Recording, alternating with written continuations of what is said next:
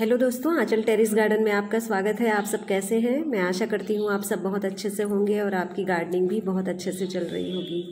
आज दिसंबर की 20 तारीख है फ्रेंड्स, और संडे अपडेट का वीडियो आप लोग के साथ शेयर कर रही हूँ। वीडियो में एंड तक बने रहें और वीडियो की शुरुआत करते हैं बहुत ही खूबसूरत पाउडर पफ प्लांट के साथ। देखिए कितना खूबसूरत फ्लावर खिला हुआ है इसमें। और इधर सारे गुड़हल के प्लांट को मैंने रखा हुआ है। ठंड के मौसम में यहाँ पर सुबह सात बजे से लेके शाम चार बजे तक धूप आती है और परमानेंट प्लांट को प्रॉपर सनलाइट ज़रूरी होता है फ्रेंड्स मिलना।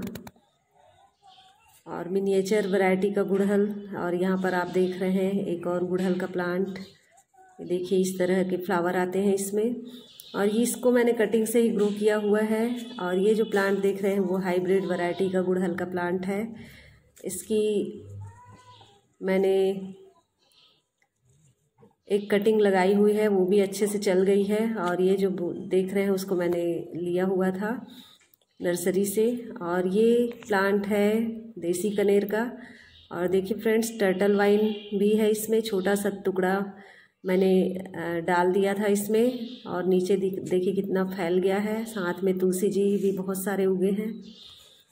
और इधर भी गुड़हल, डबल चांदनी, कनेर, ये सारे पौधे इधर रखे हुए हैं। ग्रो बैग में भी मैंने कटिंग्स लगा के रखे थे फ्रेंड्स, जो मेच्योर प्लांट बन चुके हैं। अब इनको मैं किसी अपने फ्रेंड को दे दूँगी। ये देख रहे हैं, ये देसी गुड़हल का प्लांट है, तीन कटिंग इसमें रेडी हो चुके हैं। अच्छा बड़ा प्लांट बन गया है और यह हमारा जट्रोपा का प्लांट और यहाँ पर हमारा देसी वैरायटी वाला डबल चा सॉरी देसी वैरायटी वाला जाफरी का प्लांट है ये। देख रहे हैं कितना पूरा फूलों से भरा हुआ है और जट्रोपा में भी बहुत अच्छे से फ्लावरिंग चल रही है। बारह महीने फ्लावरिंग करने वाला प्लांट होता है। इसकी वीडियो मेरे चैनल पर उपलब्ध है, आप चाहे तो देख सकते हैं। और ये हमारा डबल चाँद मिनी चांदनी है। इसकी, इसको मैंने कटिंग से ही रेडी किया हुआ है। इसका मदर प्लांट भी है मेरे पास। और ये देख रहे हैं फ्रेंड्स यही है हाइब्रिड गुड़हल की कटिंग जिसको मैंने ग्रो किया हुआ है।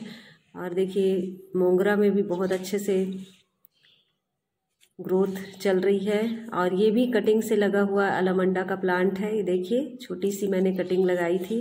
और दो ब्रांच यहाँ से निकले हैं फ्रेंड्स ये देख रहे हैं। और देखिए बर्ड्स भी बन गए हैं येलो कलर के फ्लावर आते हैं इसमें। और जहाँ मैं स्कूल जाती हूँ पढ़ाने के लिए, वहीं से मैंने इसकी कटिंग लिया हुआ था। और यहाँ पर हमारा बालसम इधर सारे गुड़हल के कलेक्शन और स्ट्रॉबेरी अभी पका नहीं है।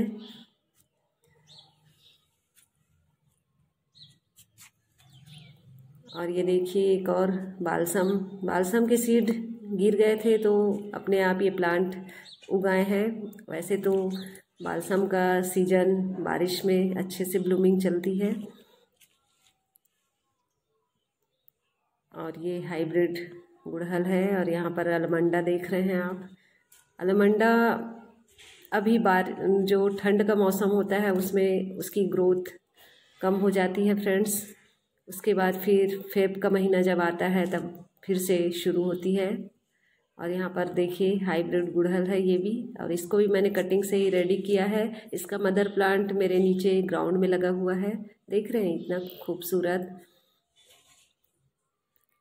मेरे जो गार्डन के आधे से ज़्यादा प्लांट मैंने कटिंग और सीड से ही रेडी किए हैं, फ्रेंड्स। मैं बहुत ज़्यादा प्लांट्स शॉपिंग नहीं करती हूँ।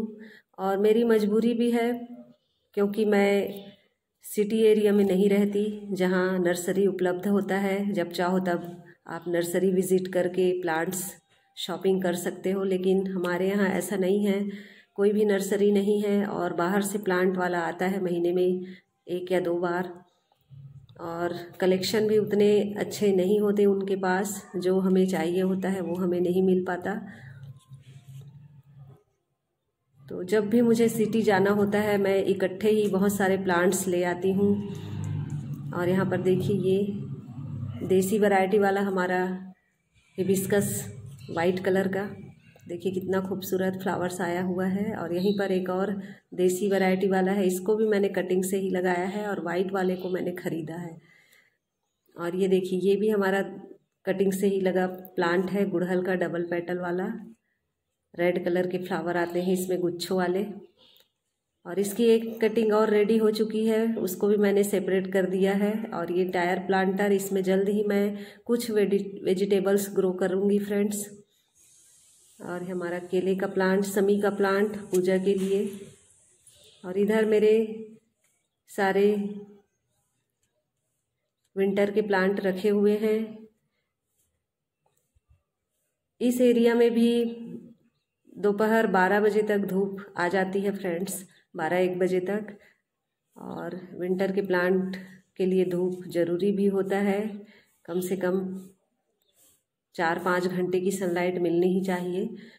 और देखिए मैरी गोल्ड भी बहुत अच्छे से चल रहे हैं। हाइब्रिड वैरायटी और देखिए फ्रेंड्स कितना खूबसूरत। और इधर देख रहे हैं वो लड्डू गेंदा की वैरायटी है। और सारे इधर मेरे वरबीना के कलेक्शन और ये देखिए कितना खूबसूरत कैलन कोई कैलन कोई रेड वाला बहुत ही अच्छे से ब्लूमिंग चल रहा है मेरे यहाँ और ये डहलिया की कटिंग ये भी बहुत अच्छे से चल रही है और यहाँ पर मॉर्निंग ग्लोरी इसको मैं आपके साथ शेयर करते ही रहती हूँ और डेंथस है मेरा।